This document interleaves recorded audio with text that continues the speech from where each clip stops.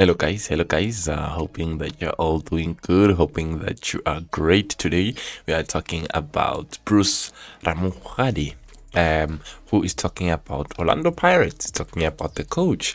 He is revealing why is the Orlando Pirates coach not good uh, enough.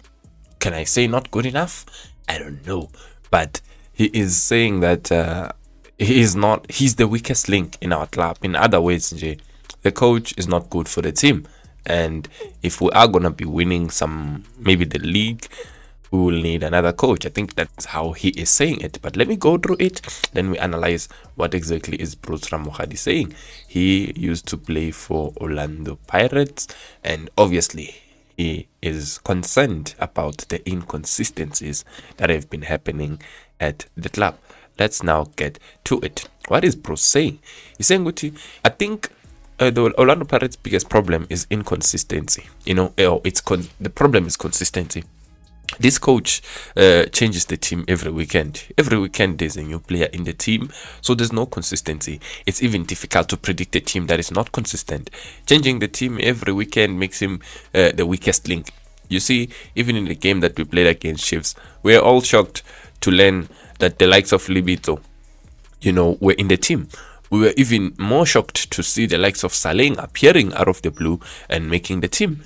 Even though he had not started a single game this season, if you play week in and week out as a player, you gain even more momentum, match fitness, and lack confidence are never an issue. You know, lack of confidence are never an issue. So I don't see Pirates winning the league under such a coach.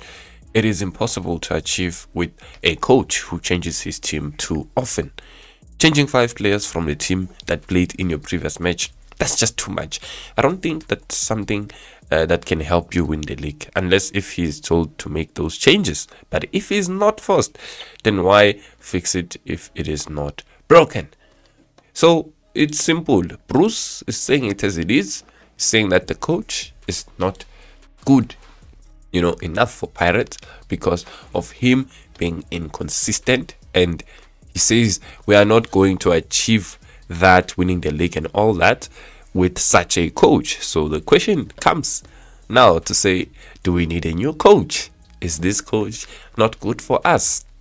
Are we disregarding the fact that he's in his second season and already won two trophy, three trophies, and maybe he might even win his fourth? You know, are we look uh, overlooking that? But what I also like from Bruce is that he's saying, if he is the one if the coach is the one that keeps on changing this lineup, I find it difficult to come and sit here and say it is the coach who's changing these lineups and coming with different teams every week. I don't know why, but there's something that tells me ukuthi no man. As a coach nawe, eh, i-team yakho iyawina, idlala kahle, udlala kahle against the Chiefs, udlala kahle against Hungry Lions.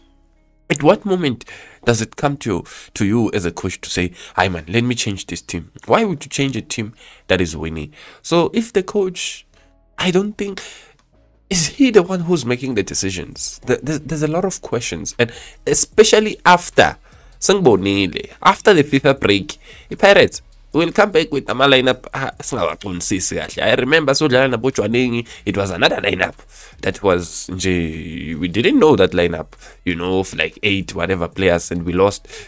Like there's always that thing man of us changing lineups out of the blue and when the team was doing good in the previous games. So it's very questionable. So yeah guys uh, i don't know what you guys think about this but really this is the the concern of everyone.